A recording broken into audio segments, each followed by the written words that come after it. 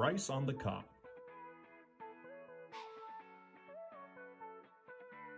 What is it? How is it made?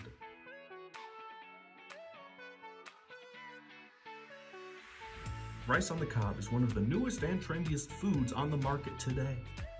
Here's what people are saying about rice on the cob. Rice on the cob completely changed my life. I used to be a serial killer and then I ate some and now I'm feeling really chill.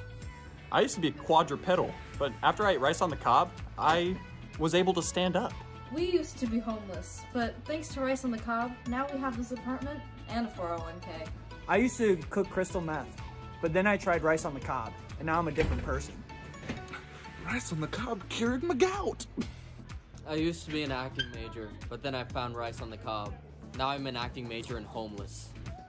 I suffered from erectile dysfunction for the vast majority of my life, but thanks to rice on the cob, I'm fully erect 24 7. I'm a convicted felon of 39 attempts of burglary, and I still like rice on the cob. Before I had rice on the cob, I didn't have rice on the cob, and now thanks to rice on the cob, I have rice on the cob. Rice on the cob.